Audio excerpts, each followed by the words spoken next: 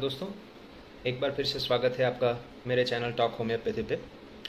आज हम बात करेंगे बहुत ही लेस या तो रेयरली यूज़ मेडिसिन जो कि बहुत इंपॉर्टेंट है। मेरी खुद की प्रैक्टिस में भी मैंने शुरुआत के दिनों में मैंने, मुझे ये मेडिसिन के बारे में बिल्कुल भी नहीं मालूम था, ये न कहें तो चले। बट मेरे हिसाब में या मेरे एक्सपीरियंस में आप ऐसा कह सकते हैं कि ये मेडिसिन के बिना काफ़ी सारे न्यूरोलॉजिकल केसेस अनट्रीटेड रहते हैं या फिर कंप्लीशन में दिक्कत होती है। मैं जो मेडिसिन की आज बात करने वाला हूँ, वो है हेलोडर्मा हेलोडर्मा गिला मॉन्स्टर से बनती है, जो कि एक चिपकली जैसा बड़ा सा जानवर है। रेयरली काटता है, कभी इंसानों की इतनी फेटेलिटीज देखी नहीं गई। ये काटने से इंसानों की इतनी डेथ देखी नहीं गई बट येट ये डेंजरस है। होम्योपैथी में इसका वेनम नॉर्मली या टिपिकली सेरिबुलर डिज़ीज़ ट्रीट करने में इस्तेमाल होता है।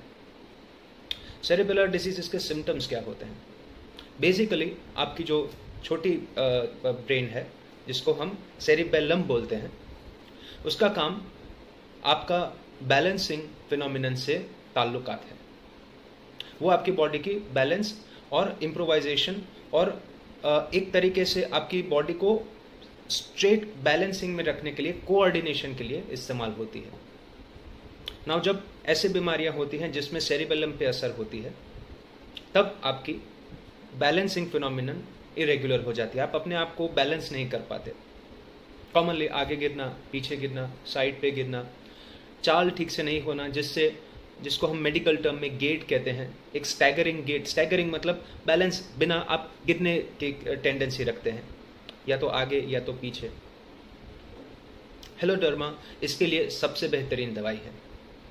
इसीलिए इसका काफ़ी सारा कॉमन इस्तेमाल पार्किंसोनिज्म जैसे बीमारियों में ट्रीट करने में इस्तेमाल होता है, क्योंकि पार्किंसोनिज्म सेरिबेलम की बीमारी है, जिसमें बैलेंसिंग नहीं रहता।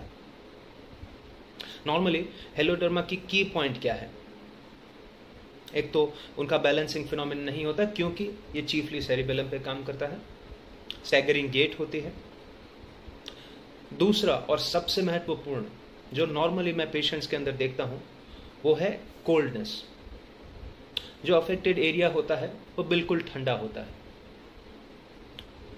पेशेंट्स काफ़ी सारी बार ऐसा करते हैं कि उन्हें अंदर से भी वो काफ़ी ठंडा लग रहा है। इसीलिए काफ़ी सारे बुक्स में, काफ़ी सारे मटीरिया मेडिकाज में इसको नाम दिया गया है आर्कटिक कोल्डनेस आर्कटिक मतलब आर्कटिक एक ऐसी जगह है जहाँ पे बिल्कुल जमा हुआ है, बिल्कुल बर्फीला इलाका है। पेशेंट इतना ठंडक महसूस करते हैं अपने अफेक्टेड एरिया में। नॉर्मली पेशेंट्स पीछे या लेफ़्ट साइड में गिरने की टेंडेंसीज रखते हैं, जिनको हेलोडर्मा की ज़रूरत होती है। हेंस काफ़ी सारी बार ये मेडिसिन हमें अननोटिस जाती है बट बहुत सारे केसेस में आपको हेलोडर्मा जैसी दवाइयाँ हेल्प कर सकती हैं। मोर सो सिंस आपके ये सेरिबेलम पे काम करती है तो वो पैरालिसिस की कंडीशन में भी आपको हेल्प कर सकती है।